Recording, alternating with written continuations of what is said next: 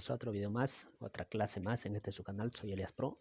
Vamos a desarrollar el tema de radicales a índice común, que es un tema muy útil y pues se trata mucho en la básica superior, noveno, décimo año. Y pues muy útil porque cuando nosotros queramos, por ejemplo, multiplicar estos o dividirlos, ya sea porque multiplicación y división tienen por ahí una parte que los relaciona, pues es muy útil convertirlos estos índices que vemos aquí de los radicales pues que sean iguales, es decir, que sean comunes, que compartan algo porque se facilita pues su multiplicación más que todo. ¿no? Entonces es muy útil, vamos a ver cómo se hace, cómo se lleva pues eso, ¿no? cómo se convierten estos índices de los radicales que son diferentes a índice común. Entonces si les interesa esto y necesitan aprenderlo, mejorarlo, pues les invito a que se queden y esto es parte de la página que ya se las voy a decir del texto integrado de décimo año. Bueno, entonces aquí tenemos pues el primer ejercicio, esto está en la página déjenme mirarlo, tengo aquí a la mano, página 24, el texto integrado. Es de décimo año. En la página 24 del texto integrado, ahí tenemos convertir pues, a radicales de índice común. En estos casos que podemos verlo aquí, pues en este radical tiene índice 2 porque no lo vemos, es raíz cuadrada. Y acá como si lo vemos, pues este es raíz cúbica. Entonces, y bueno, pues los radicandos los vamos a dejar ahí por el momento. Entonces, ¿cuál es el procedimiento? Entonces, lo primero que deberíamos hacer es encontrar un MCM, ¿sí? Voy a ponerlo por aquí, un MCM de los índices, es decir, el índice 2 que está aquí, que no lo vemos, pero está ahí en implícito, entonces aquí es el índice 2 y también índice 3 del otro raíz, entonces el MSM entre el 2 y el 3, ¿sí? y el, el MSM pues no es otra cosa que un número que lo podamos dividir de forma exacta para estos dos números, el, pequeño, el más pequeño si es posible. Claro, ustedes eh, lo podrán encontrar multiplicando rápidamente entre 2 por 3, entonces eh, sería 6. Bueno, este es sencillo, para empezar, pues, porque son dos números bajos. Entonces, el MCM mínimo como múltiplo es el 6. ¿sí? Es decir, que 6 va a ser el nuevo índice del radical. ¿sí? Así de esta forma. Entonces, el índice lo ponemos por ahí. Y el índice va a ser, pues, ahora el que acabamos de encontrar. 6. ¿Sí? 6. Ese es el índice. Ahora, lo que hacemos es, este 6, déjenme borrar esto que me quedó medio feo ahí creo que salió mejor. Este 6 lo vamos a dividir para el índice de esta raíz, ¿sí? que es 2. Es decir, si yo tengo 6, lo divido entre 2 que tiene esta radical. Esto es 3, obviamente, no el otro número va a ser. Entonces, este 3 que acabo de obtener, lo voy a multiplicar por el numerito exponente que tengo del 4. Es decir, el 4 va a quedar igualito, ¿sí? Ahí. Y este 3 que obtuve de la división del nuevo índice entre el índice anterior de este radical, que es 3, lo multiplico por el 3 exponente, que es 9. Claro, ¿no?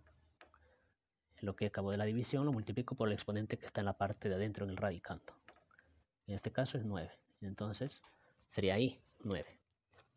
Como aquí no estoy multiplicando ni dividiendo, solamente estoy indicando cómo transformar a índice común, entonces no voy a realizar ninguna operación de suma, de multiplicación o división. Y el otro, pues, de la misma forma. Vamos, hacemos el radical, ¿sí? Y ponemos el nuevo índice que dijimos que es 6. 6.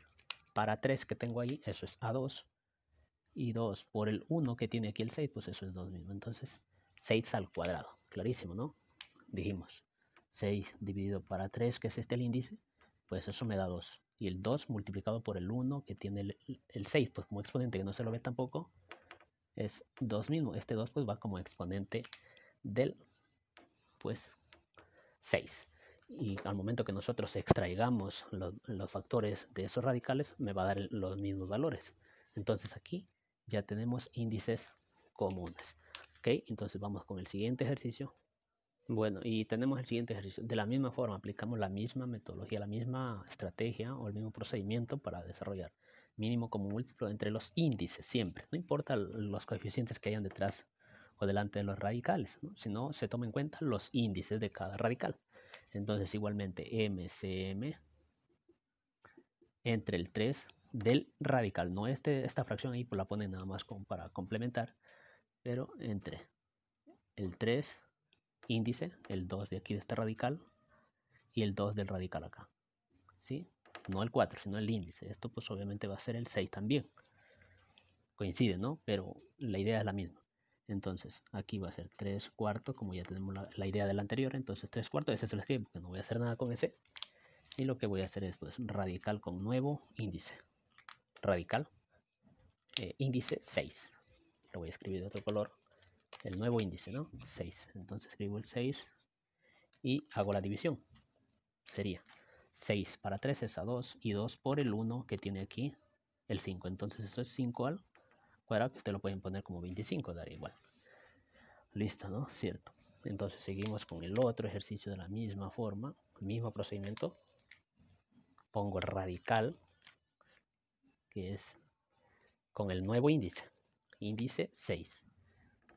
Índice 6. Ay, me está saliendo muy feo este 6. Entonces voy a hacerlo. Índice 6. Y el 6 lo divido para 2, que sería 3, ¿no? Entonces 5 a la tercera, porque el 6 para 2 que hay aquí es a 3. Y este 3 lo multiplico por el 1 que tiene el 5, entonces sería 5 al cubo. ¿De acuerdo? Y por último, pues el mismo asunto. Pongo el 4, porque ese 4 ahí es solamente para que haga el ejercicio un poco más interesante, pero el mismo asunto no cambia. Así que no se asusten porque ven más números ahí. Lo mismo, pues el índice dijimos que es 6, porque todos tienen que tener el mismo índice, por eso se llama índice común, ese es el asunto acá. 6 para 2 es eh, a 3 y esto pues igualmente 5 al cubo. Y esta pues sería la, la solución de índice común. Obviamente aquí no estoy multiplicando ni dividiendo nada, solamente estoy explicando cómo llevar índices que tienen diferentes eh, radicales que tienen diferentes índices a índices que tengan eh, iguales comunes, ¿no? Porque si nosotros quisiéramos sumar y restar, no importa el índice que tengas, ya esa es otra, otra canción, ya es otro tema, así que pues, espero que les haya gustado y les sirva también de mucho a ustedes. Así que ya nos vemos en un próximo video que ya va a ser con operaciones de multiplicación, división y también suma y resta de eh, radicales. Chao.